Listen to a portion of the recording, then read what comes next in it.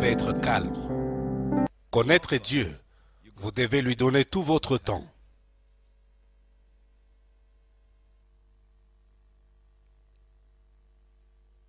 Vous êtes venu ici, tandis que vous avez d'autres programmes pour la journée.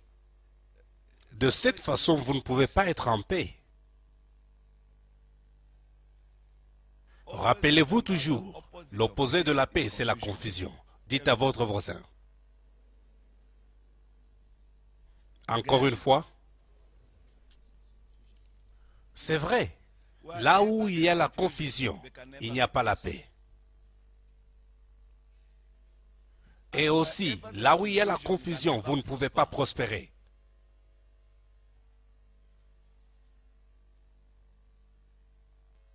Là où il y a la confusion, vous ne pouvez pas vous développer. Vous ne pouvez pas. Même dans votre propre vie, s'il y a la confusion, sachez que vous ne pouvez pas vous stabiliser et même les bénédictions que vous attendez ne vont pas venir. C'est vraiment un mirage. C'est quand vous avez la paix totale en vous-même, alors ainsi vous verrez les bénédictions de Dieu. Un principe simple. Mais nous nous retirons de celui qui peut nous aider. Et nous nous donnons aux gens qui peuvent nous détruire. Père, nous te disons merci parce que tu es éternellement le même. Vous connaissez d'où nous venons. Vous connaissez ce que nous avons fait. Pardonne-nous. Pardonne-nous, Père, nous ne le méritons pas. Nous implorons ta miséricorde. Le pardon, nous savons que c'est divin. Ce que nous avons fait ne mérite pas le pardon. Ça mérite le jugement.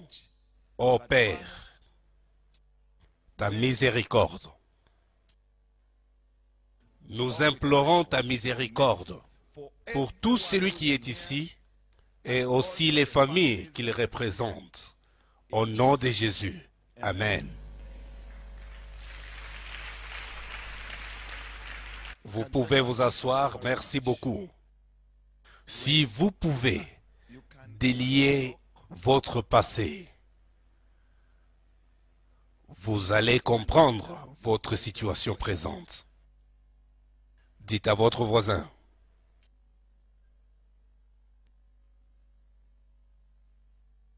Encore une fois, s'il vous plaît.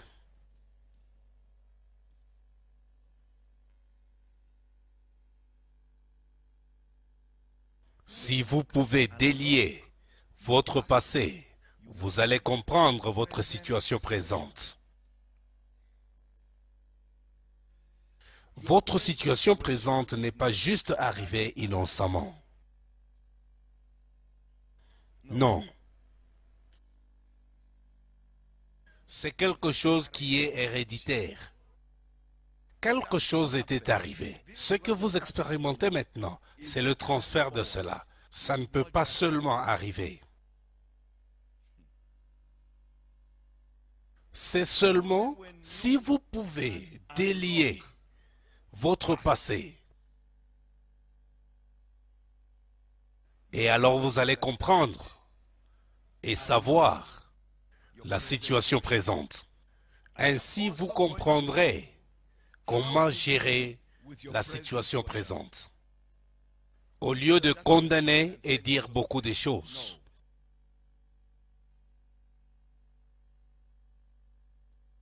Non.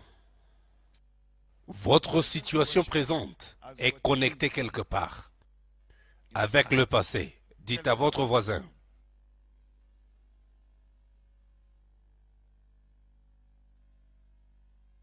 Faire une inspection dans le passé pour une raison valable, avec une bonne attitude, ça va vous aider à devenir mieux. Faire un pas en arrière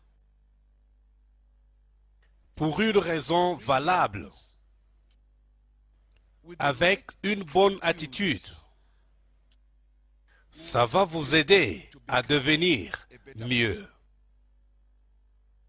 Apprendre et examiner les domaines où il y a eu des fêtes dans votre vie et dans la vie de votre famille.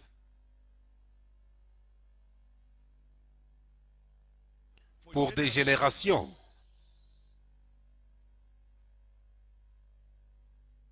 Ça va vous aider à reconstruire votre vie en Jésus-Christ. Une simple question que je vous pose. Pourquoi votre vie est-elle telle qu'elle est?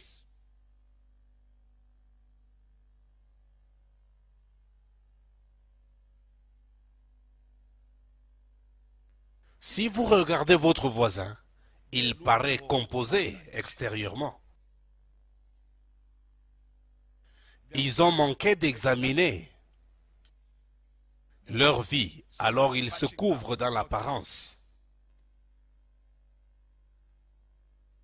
Vous êtes fatigué maintenant de vous couvrir dans l'apparence. Mon frère, ma soeur, oncle, tante, grand-père, grand-mère, c'est peut-être que vous avez un bagage de génération qui est devenu part de ce que vous êtes maintenant. Et vous ne pouvez plus reconnaître ça parce que c'est devenu part de ce que vous êtes. Un bagage de génération. Si vous n'examinez pas ça, vous ne le saurez pas non plus. Vous allez juste continuer votre vie tournant en rond. La vie des douleurs, la vie des confusions.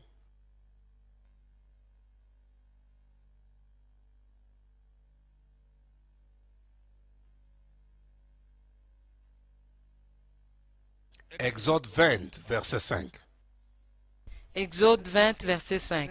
Tu ne te prosterneras point devant elles et tu ne les serviras point, car moi, l'Éternel, ton Dieu, je suis un Dieu jaloux qui punit l'iniquité des pères sur les enfants jusqu'à la troisième génération et à la quatrième génération de ceux qui me haïssent. Vous pouvez porter ce bagage, mais la parole de Dieu ne va pas rentrer sans qu'elle ait accompli sa mission. Si une de ta génération précédente s'était prosternée devant une idole ou quoi que ce soit, bien que vous n'étiez pas là, mais Dieu dit qu'il va punir. Dieu dit qu'il va punir la troisième et la quatrième génération.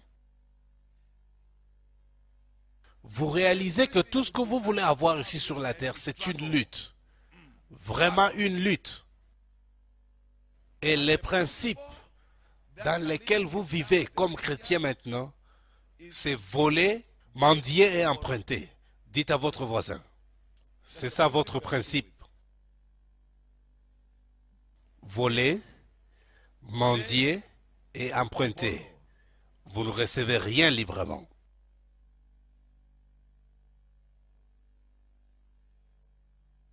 Vous voulez faire voir aux gens que Dieu vous a béni pendant que vous volez, chrétien. Vous allez emprunter un veston pour porter le dimanche prochain. Vous ne faites qu'emprunter et mendier.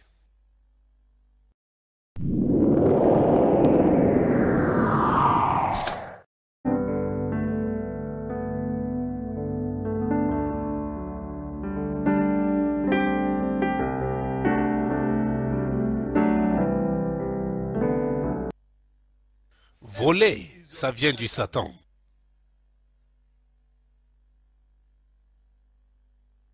Mais pourquoi les gens font toutes ces choses? Parce qu'ils ne perçoivent pas le futur. Ils ne voient que le présent. Ils ne peuvent pas voir au-delà. Ils ont fait tout ce qui est possible. Et en fin de compte, ils disent, je vis de cette manière parce que la vie est dure. Laissez-moi vous demander, comparativement à quoi? Demandez à votre voisin, vous dites que la vie est dure, comparativement à quoi? Discutez, n'est-ce pas que vous dites ces choses? Dans votre situation présente, pouvez-vous reconnaître un lien quelconque, une barrière quelconque qui a été conclue dans votre passé ou dans le passé de votre famille. Le passé de votre famille. Regardez, la vie n'est pas un terrain des jeux. Vous vous réveillez seulement avec beaucoup de pensées. Je vais faire ceci, je vais faire cela. Dites-moi, aviez-vous réellement examiné qui vous êtes? Avant que je puisse me mélanger avec des milliers et des milliers de chrétiens, je dois d'abord connaître qui suis-je.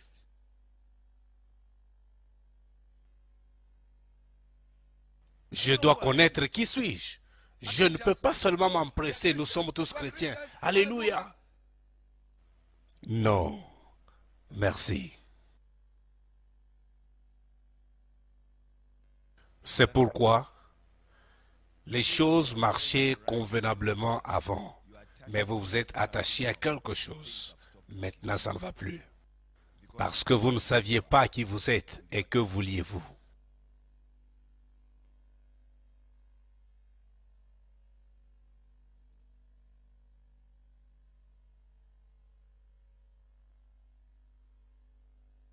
Vous n'aviez pas la patience, parce que la patience est une vertu.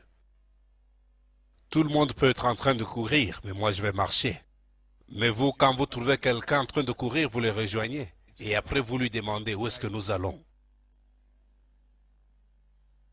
Mais pourquoi aviez-vous commencé à courir?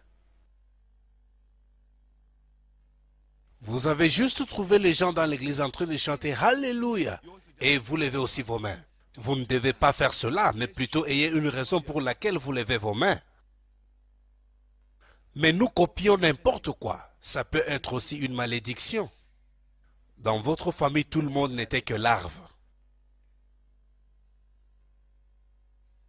Dans toute votre famille, génération après génération, il ne faisait que copier de l'original.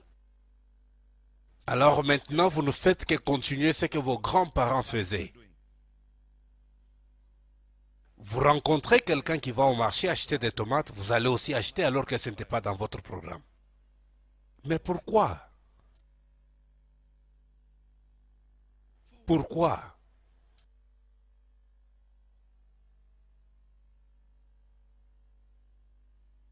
Tout lien, je vous l'ai dit, commence avec le péché. Aucun lien ne peut venir sans le péché. Voyez-vous? Aucun lien ne peut prendre place sans le péché. Certains péchés, vous les aimez, et certains, vous les haïssez. Vous êtes ici.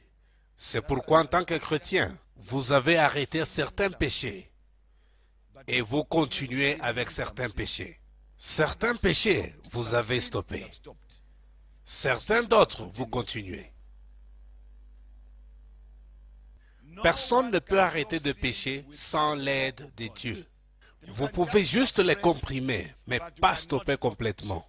Arrêtez de pécher. Dieu doit être impliqué. C'est pourquoi il a dit, je vais punir l'iniquité de la troisième et quatrième génération. C'est Dieu qui punit à cause du péché. Chaque fin d'année, vous célébrez Nouvel An. J'ai arrêté de fumer et d'aller aux boîtes de nuit. J'ai arrêté de visiter cet homme ou cette femme, etc. C'est juste le 1er janvier. Le 5 janvier, tout ce que vous avez arrêté, vous le reprenez. Vous voici maintenant tout ce que vous aviez arrêté pour la résolution de cette année. Vous êtes maintenant en temps plein dans cela. Vous attendez encore un autre nouvel an pour arrêter ce que vous aviez arrêté, que vous allez reprendre. Personne Et alors personne, né sous le ciel, peut arrêter de pécher sans l'aide des dieux. Ne faites pas passer le temps.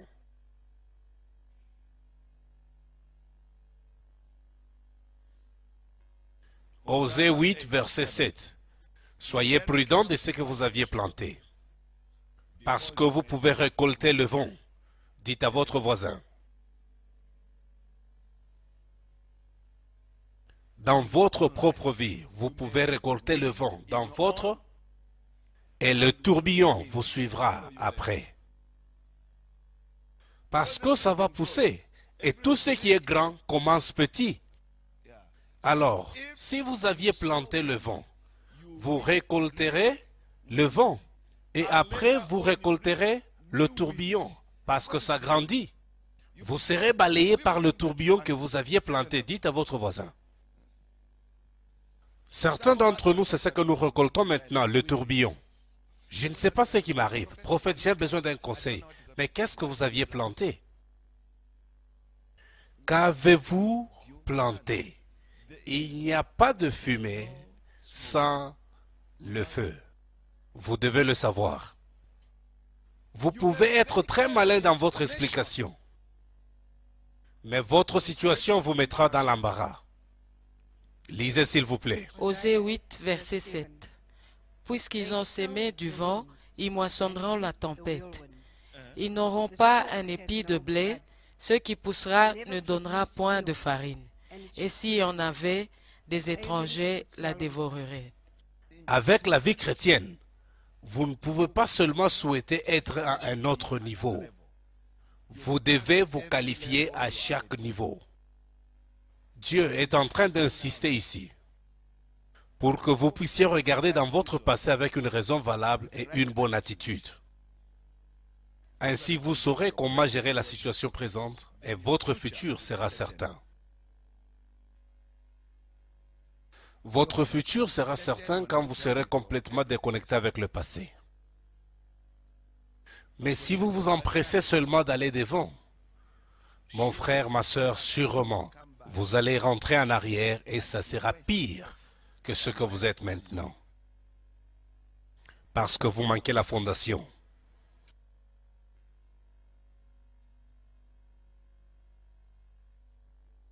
C'est mieux de faire face aux problèmes, pas se cacher de problèmes. C'est vraiment mieux qu'on fasse face à nos problèmes. Comment ceci avait-il commencé? Où est la racine? J'étais dans cette situation il y a de cela six mois, mais voici encore en ça. Quelle peut être la raison? Pour que prochainement, si ça revient, vous allez changer cet obstacle en victoire. Contrairement, si vous ne le savez pas, tout obstacle qui viendra va vous rabaisser. Avec une Bible dans ta main et une autre sous l'aisselle, et vous planifiez même d'acheter une autre la semaine prochaine. Ce n'est pas seulement acheter les Bibles. C'est bien d'en acheter et de la comprendre. Plusieurs fois, certains ici peuvent témoigner. Quand vous vous retrouvez dans un problème, vous allez découvrir beaucoup de choses à propos de vous-même que vous n'aviez pas su avant. Avez-vous compris? Quand vous vous retrouvez dans un problème, ne découvrez-vous pas certaines choses à propos de vous-même? Les problèmes sont les prix du progrès. Dites à votre voisin. Les gens qui savent comment gérer les problèmes ont excellé dans la vie.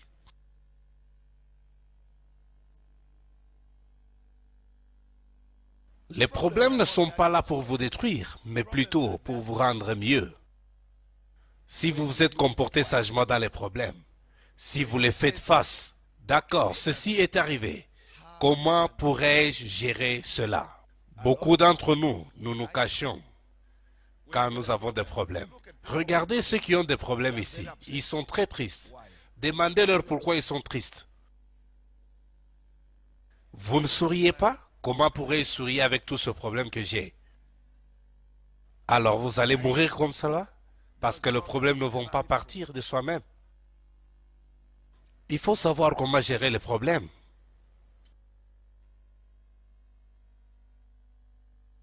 Les obstacles de la vie, les problèmes de la vie sont là pour nous rendre, vous et moi, meilleurs, pas pour rester dans l'amertume.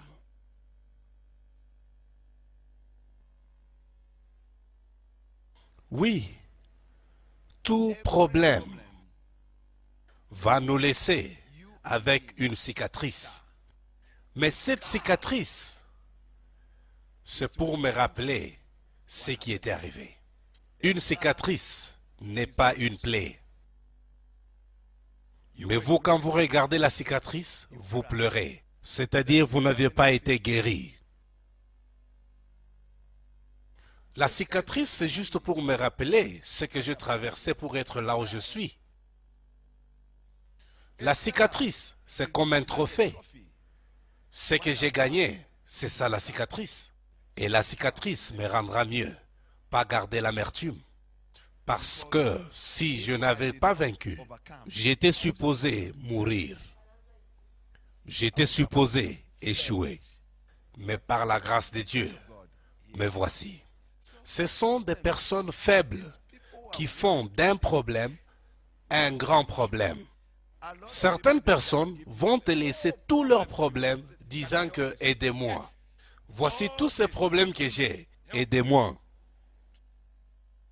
Et quand vous leur demandez, mais vous, qu'est-ce que vous allez faire? Non, j'ai seulement besoin de la réponse. Vous n'allez pas prendre comme cela.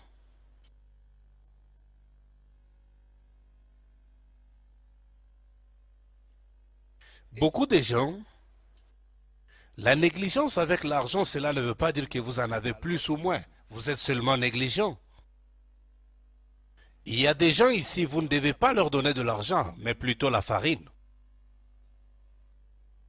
C'est vrai, ne leur donnez pas de l'argent. Ils sont nombreux dans la famille, ils sont à 5, mais ils achètent 2 kilos de riz. Pourquoi? Ça prendra combien de temps? Il ne planifie pas pour demain.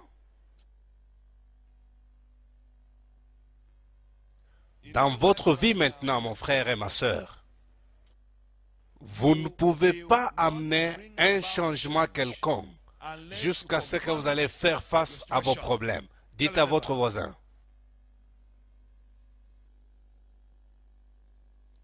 Il ne faut pas éviter l'affrontement. dans votre situation. Non. Non, il sera triste. Ça va, c'est juste la manifestation. Affronter. Ceci ne peut pas continuer comme cela. On ne peut pas continuer de cette manière. Avec ma vie, ça ne doit pas continuer comme ceci. Pourquoi dois-je lire la Bible seulement une fois? Je dois faire face à moi-même. Il y a de cela deux semaines que j'avais jeûné. Mais ça ne peut pas continuer comme cela. Je dois faire face à moi-même et commencer à jeûner. Pourquoi les choses sont telles qu'elles sont? Parce que je suis faible spirituellement. Que dois-je faire? Je dois faire un, deux, trois. Je sais que c'est très douloureux de s'affronter soi-même. Je sais que c'est seulement les courageux les audacieux et courageux qui s'affrontent. Le reste des gens, ils ont beaucoup d'excuses.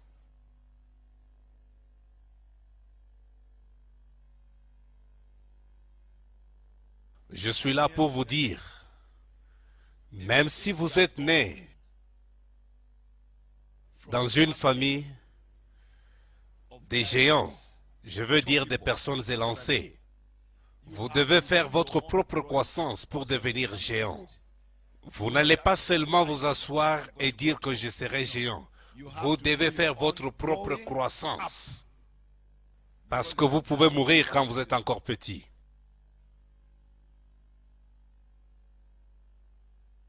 Certains d'entre vous ici, vous êtes le seul dans votre famille à écouter ceci. Toute la famille est approfondie dans l'occultisme. Et c'est ainsi que vous aurez des problèmes après des problèmes. Mais à cause de votre initiative, Dieu va vous supporter.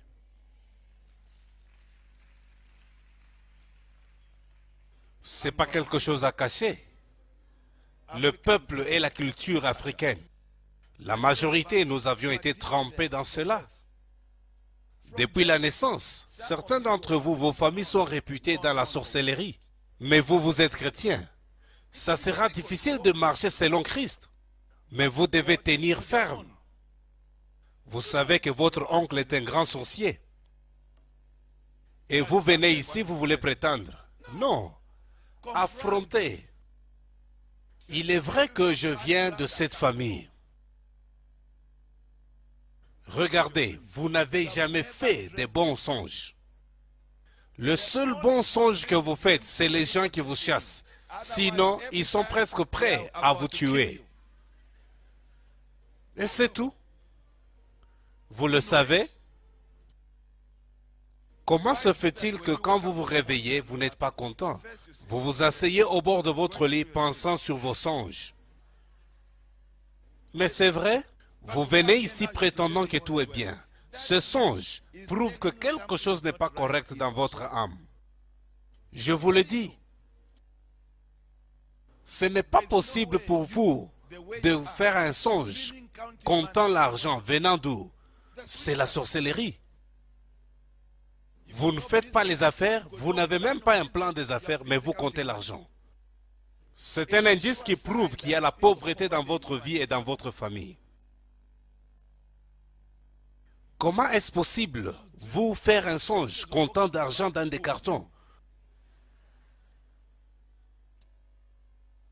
Une fois que vous me dites cela, je vous demanderai de passer à la délivrance. Vous avez besoin d'aide.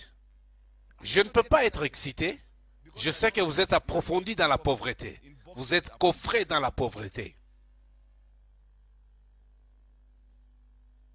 Vous devez savoir ceci. Chaque fois que vous voulez les choses faciles, vous aurez toujours des difficultés. Dites à votre voisin. Il y a des gens assis ici voulant toutes choses faciles. J'ai besoin d'une belle voiture, une belle maison, de beaux habits, ceci et cela. Si vous aimez la facilité, vous aurez toujours des difficultés. Parce que rien n'est facile. Alors quand ça vous arrive, une petite difficulté, vous vous plaignez disant que j'ai beaucoup de problèmes. Non. Voilà, je lui ai demandé de l'argent, il ne m'a pas donné. Je suis allé voir ma tante, elle ne m'a pas donné non plus. Et même mes amis. Mais pourquoi aimez-vous la facilité? Quand allez-vous aussi donner de l'argent à quelqu'un autre? Tous les contacts téléphoniques que vous avez, ce sont des gens de qui vous pouvez prendre facilement. Sur votre liste, y a-t-il un boiteux que vous aidez? Demandez à votre voisin. Oui, sur votre liste, y a-t-il un aveugle que vous aidez? Aucun. Y a-t-il un malade? Admettons que vous téléphonez quelqu'un et il vous dit merci d'avoir appelé, j'ai besoin de 20 rentes. Pouvez-vous le rappeler?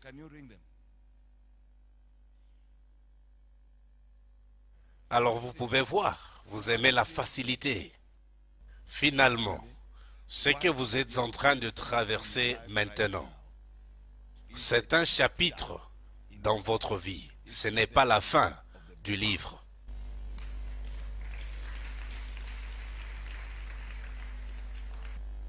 Alors un autre chapitre viendra avec la prospérité, la guérison et la restauration.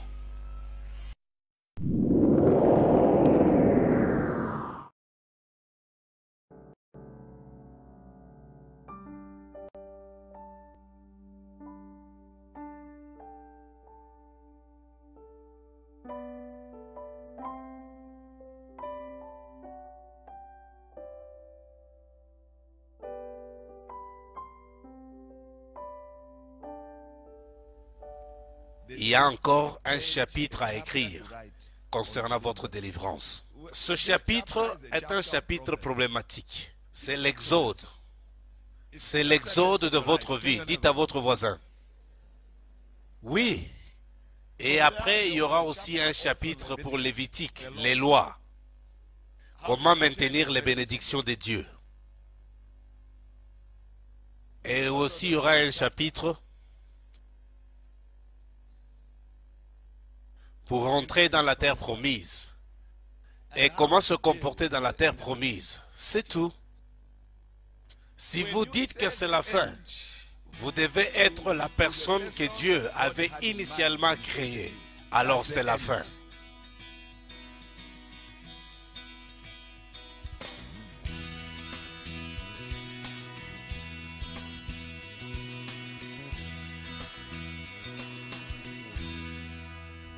Voyez-vous, ce n'est pas ce que vous devez être. Ce n'est pas ce que vous devez être.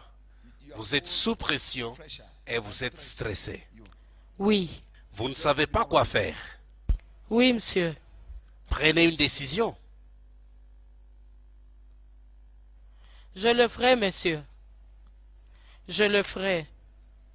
Regardez, pleurer sans raison n'a pas une récompense. Cela montre seulement que vous avez beaucoup de larmes.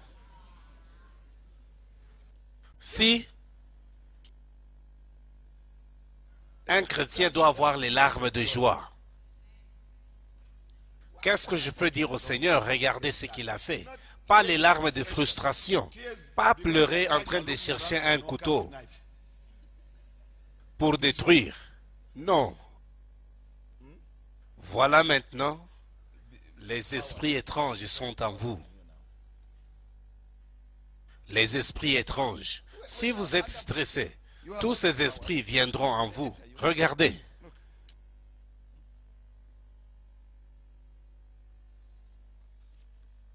Voyez-vous? Je ne me contente pas de votre apparence extérieure si vous êtes habillé en noir ou en blanc. Vous n'êtes pas blanc à l'intérieur. Il y a beaucoup de taches en vous. Un chrétien être sous pression, voyez-vous Regardez, un chrétien sous pression. Laisse-la. Laisse cette fille tranquille.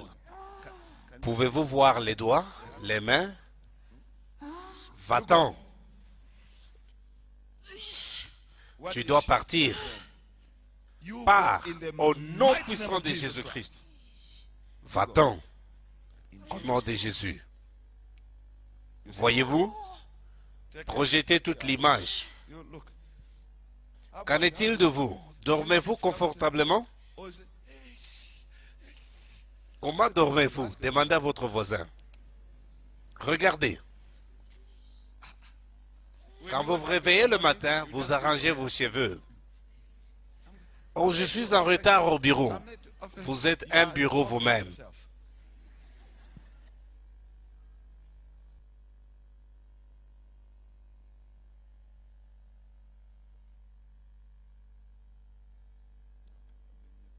Ne vous en faites pas, ne vous en faites pas. Ce n'est pas la fin de la vie. Venez de ce côté. Parce que vous pleurez, vous êtes désespéré.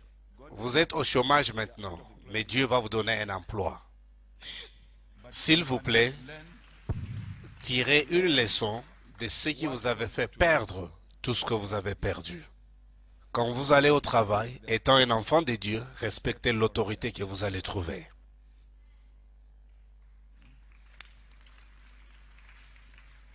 Père, la miséricorde, pardonne-lui. Seigneur, pardonne-lui.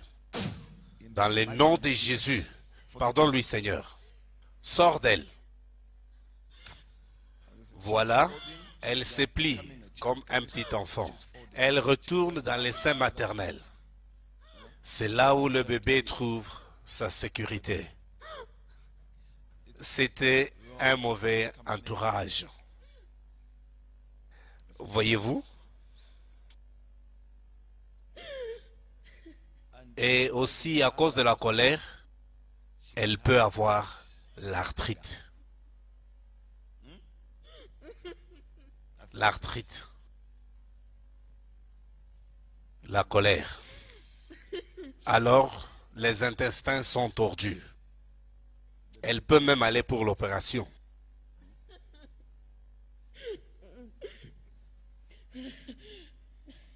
Et voilà. Un échec a une raison quelconque. On ne peut pas juste échouer. Un échec à quoi? Oui, certains d'entre nous sont paresseux. Nous voulons la facilité. C'est déjà un échec. Qu'est-ce qui attend Où sont tes petits-enfants? Venez ici. Vous allez les prendre? Oui, prophète.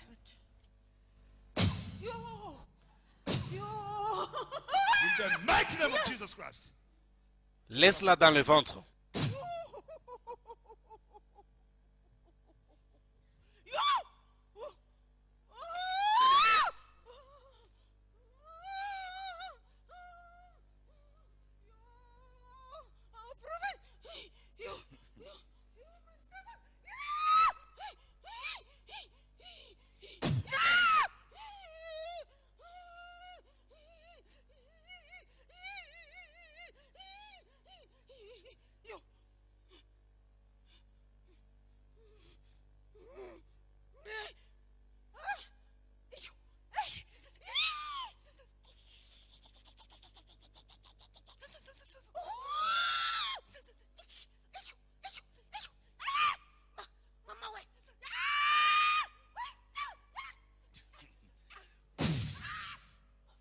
Au nom de Jésus.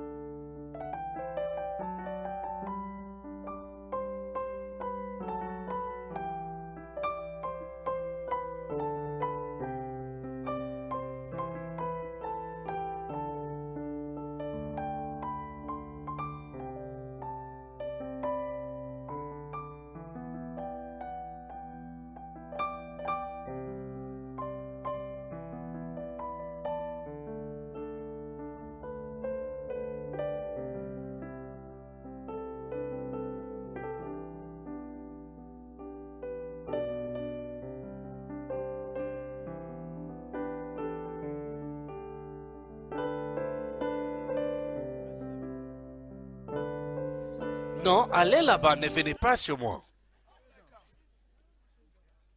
J'ai dit douze. D'accord, mettez-vous en ordre.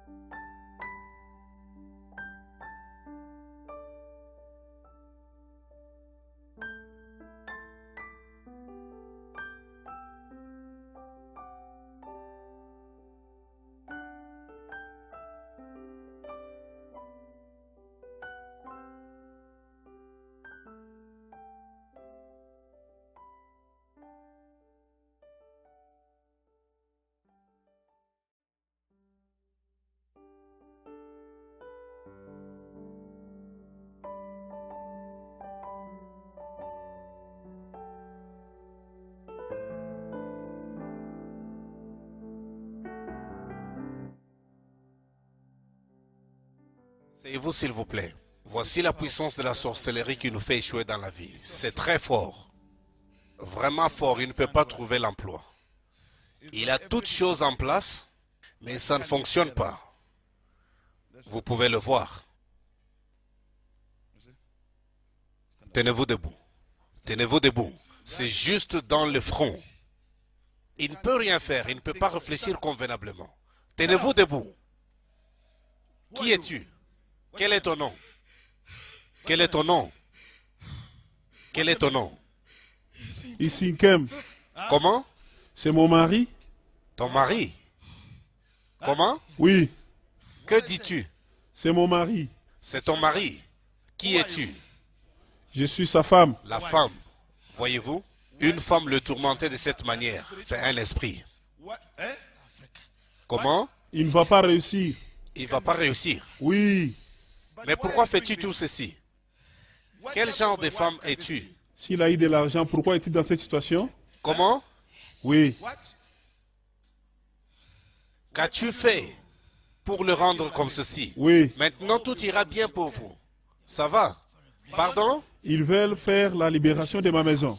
Ils sont venus faire quoi? Ils voulaient libérer ma maison et j'ai refusé. Opération.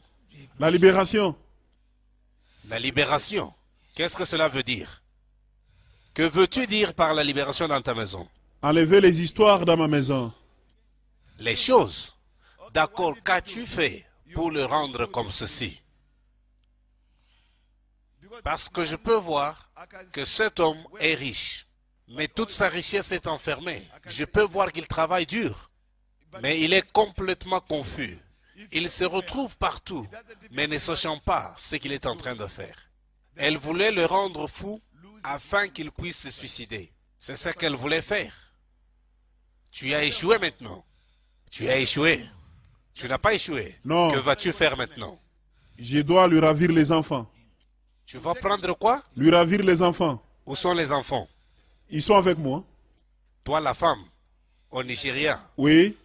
Alors? Mais qu'est-ce que tu as fait pour que ton mari soit comme ceci? Aimes-tu ton mari? Aimes-tu ton mari? Ne me demandez pas. Comment? Ne me demandez pas. À qui dois-je poser la Ne question me demandez pas. Je dois poser la question à qui? Il priait dans une église de la sorte au Nigeria et je lui ai refusé. Je lui ai dit qu'il s'en aille dans d'autres églises. Il ne doit pas être dans cette église. Oui, dans ce genre d'église. Il y a quoi? Au Nigeria, il priait dans ce genre d'église et je ne voulais pas de ça. Voilà qu'en Afrique du Sud, il répète encore la même chose. Alors je veux qu'il puisse partir de cette église. Il doit sortir d'ici. Oui. Qu'est-ce qu'il y a de mal ici? Tant mieux, je ne veux pas le laisser. Comment? Tant mieux, je ne veux pas le laisser. D'accord. Au nom puissant de Jésus-Christ. Sors de lui. Va-t'en au Nigeria. Avant que je déclare la confusion dans votre camp. Viens. Libère sa conscience. Le front. Libère le front. Libère le front. Au nom de Jésus, libère le front. Voyez-vous? Tiens-toi debout. Tiens-toi debout. Tiens-toi debout. Au nom de Jésus. Voyez-vous, la femme l'aveugle. Tiens-toi debout. Que pouvez-vous faire de cette manière? Tiens-toi debout. Vous ne pouvez rien faire parce que vous ne pouvez pas voir. Tiens-toi debout au nom de Jésus. Voilà, il est complètement aveuglé. Comment peut-il prospérer? Voilà, si Dieu le libère, même la femme qui est au Nigeria saura que son mari est libéré. Cet homme sera libéré aujourd'hui et cela est ordonné par Dieu au nom de Jésus. Viens ici, viens ici. Laissez-le, laissez-le. Caméraman, venez vite. Viens ici. Viens ici, viens ici. Au nom de Jésus, viens ici. Vous vous pensez que Satan est petit. Vous communiquez avec lui ceci ou cela. C'est la destruction. Tu dois libérer cet homme. Aujourd'hui, c'est le jour de son salut. Aujourd'hui, c'est le jour de sa délivrance. C'est le jour de sa restauration. Toute chose,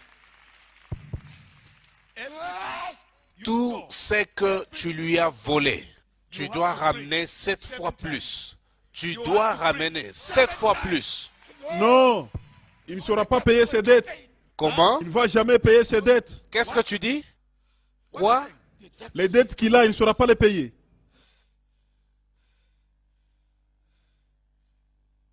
Les dettes, Il ne saura jamais payer les dettes qu'il a. il va payer. Il Jamais. va payer. C'est toi qui avais causé qu'il puisse faire cela. Les bénédictions viennent de Dieu, pas d'un homme. C'est déclaré ici aujourd'hui. Tout ce qui lui appartient, mais qui était retenu, doit revenir. Ce qui lui appartenait va revenir au nom de Jésus. Au nom de Jésus. Tu es vaincu. Tu es vaincu. Libère son âme. Père, purifie son âme. Purifie son âme. Restaure son âme. Jésus-Christ, mon Seigneur, restaure son âme. Toi, esprit impur, je t'ordonne de sortir de lui. Déconnecte-toi de lui. Déconnecte-toi de lui. Déconnecte-toi. D'accord. Déconnecte-toi. Je vais libérer son enfant. J'avais dit qu'il ne lui appartient pas. C'est le mensonge. Je vais le libérer. Alors, laissez-moi partir. Tu pars. Où vas-tu? Je lui ai rendu son enfant. Qu'il le prenne. Que lui donnes-tu d'autre? Que lui donnes-tu d'autre? Qu'il prenne son enfant. Déclare les bénédictions sur son enfant. Avant que j'ordonne les feux, déclare les bénédictions. Révoque les malédictions et déclare les bénédictions sur lui. Déclare-le béni maintenant au nom de Jésus. D'accord. Dites-le. Les enfants seront bénis. Comment? Les enfants seront bénis. Et lui? Cet homme, ah, oublie-le. Non, c'est par là que je commence. Il est la tête de la famille. S'il est béni, tout le monde sera béni. Viens ici. Viens ici. Viens ici. Au nom puissant de Jésus-Christ. Avance. Avance. Je t'ordonne d'avancer au nom de Jésus. Sinon, on va te pousser. Tu veux qu'on te pousse? Viens.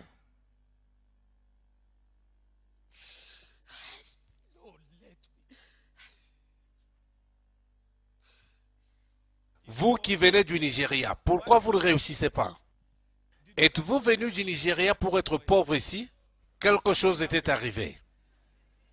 Quelque chose était arrivé. Et tout ce que je vous demande, ne vous engagez pas dans ce qui est illégal.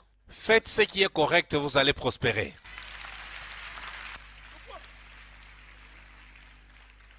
Il ne faut pas salir le nom d'une nation à cause de ce que vous faites. Non. Faites ce qui est bien. Vous allez prospérer.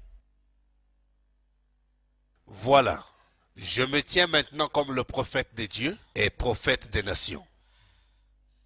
Je déclare maintenant que cet homme est béni. Je déclare maintenant que cet homme est restauré. Et je déclare, Je l'ai rendu diabétique.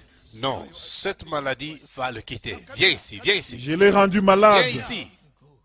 Viens ici. Voyez-vous comment l'esprit s'enorgueillit disant qu'il est diabétique? C'est cet esprit qui avait amené ça et il doit reprendre ça.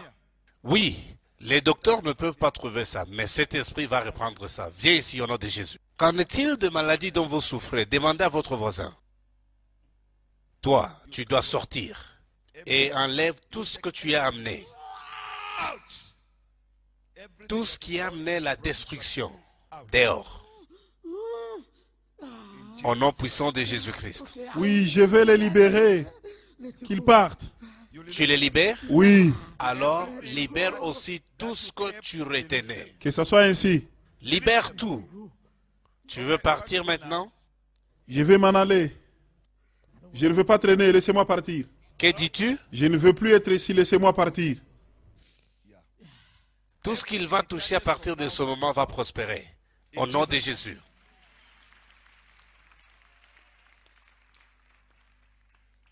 Au nom puissant de Jésus-Christ. Seigneur Jésus, établis-le. Alléluia. Qui suis-je? Papa, Comment? Papa, Papa, voyez-vous? Oui, vous êtes libre, mon fils.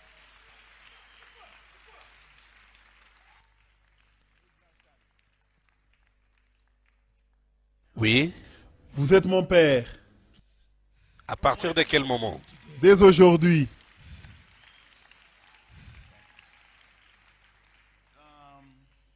Pardonnez votre femme, c'est elle qui vous avait lié. Nous nous sommes séparés. Comment?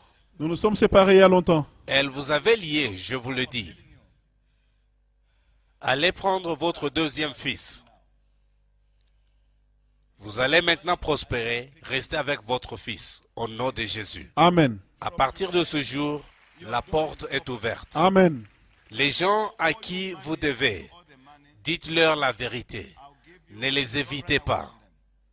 Dieu vous a élevé. Voilà, vos affaires vont prospérer, alors payez à tout celui que vous devez. Déjà, je suis sur leur liste dangereuse de personnes recherchées. Ne vous en faites pas. Dieu a rectifié tout cela.